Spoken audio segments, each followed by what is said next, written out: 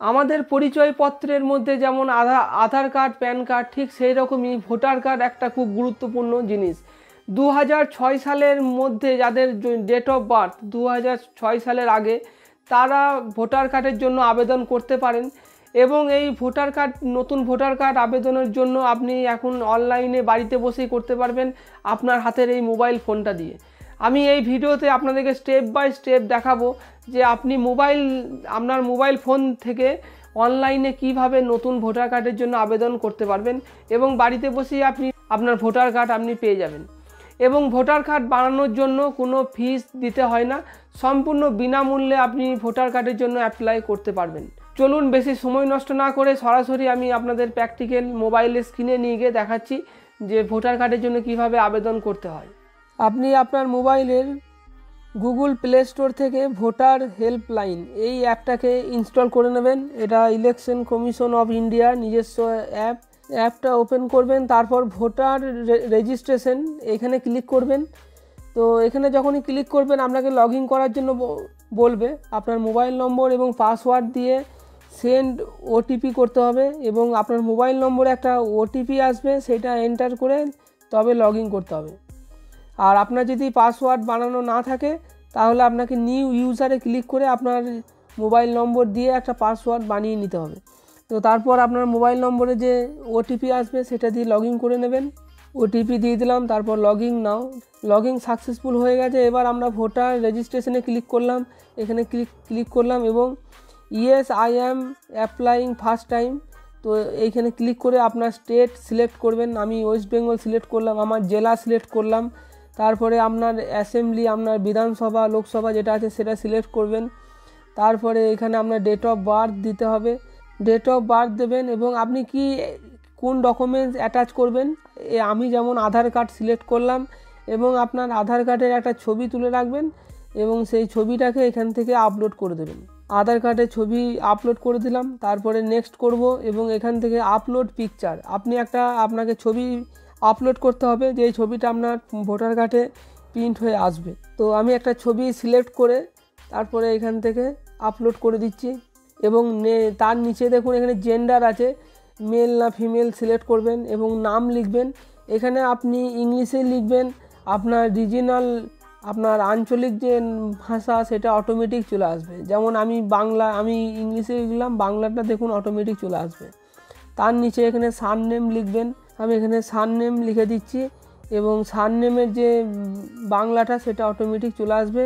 আপনি চাইলে বাংলাটাকে এডিটও করতে পারেন।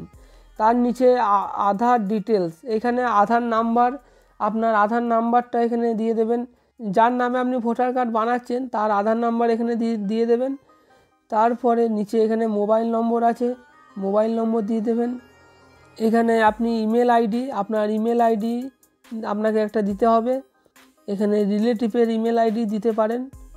এবং নিচে আছে ডিসেবিলিটি যদি কোনো ডিসেবিলিটি থাকে, শারীরিক কোনো প্রবলেম থাকে, সেটা সিলেক্ট করতে পারেন। আর না থাকলে এটা স্কিপ করে দেবেন।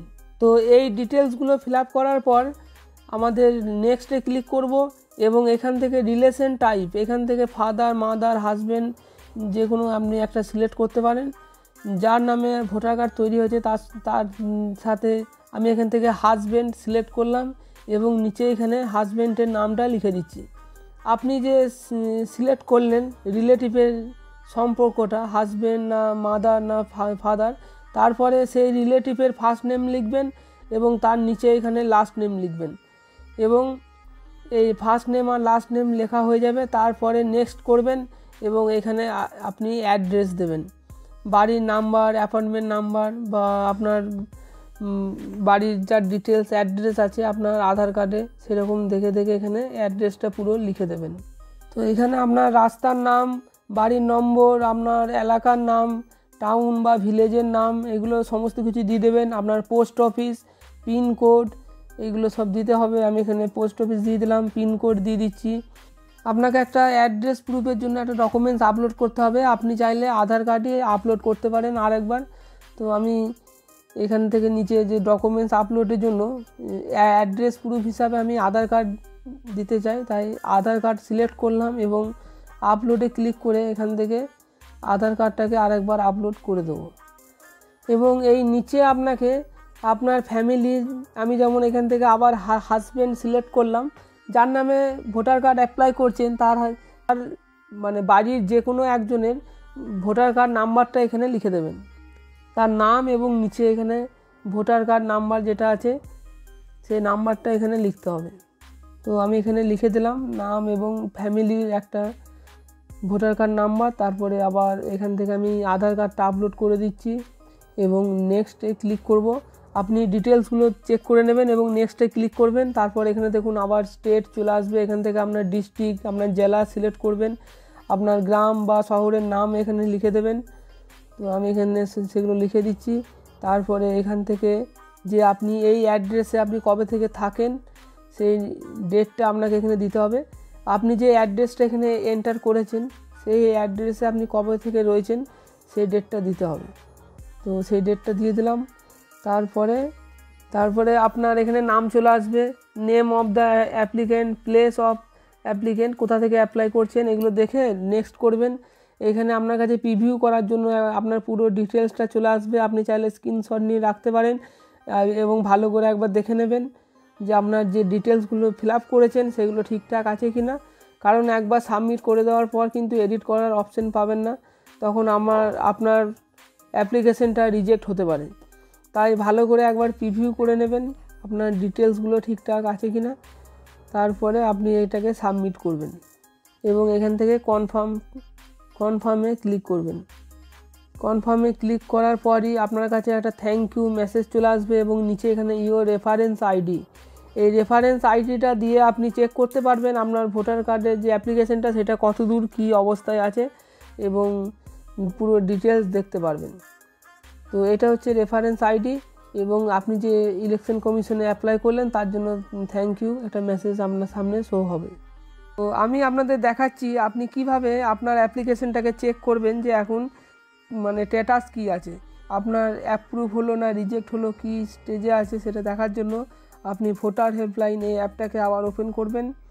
তো লগ ইন করে নেওয়ার পর ভোটার রেজিস্ট্রেশন যে অপশানটা রয়েছে এখানে আসবেন। তারপরে এই যে track status of your form এখানে যে চেক লেখা আছে এখানে ক্লিক করবেন।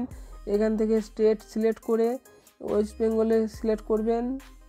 অ্যাপিল ফর্ম এখানে আসবেন, অথবা আপনি এখানে লিখেও দিতে পারেন, ম্যানুয়ালি টাইপ করে দিতে পারেন। তো আমি যেহেতু এই- এই, এইখান থেকে অ্যাপ্লাই করেছি, এখানে সিলেক্ট করব এবং আপনার সামনে আপনার যে অ্যাপ্লিকেশনটা তার ডিটেলস এখানে চলে আসবে।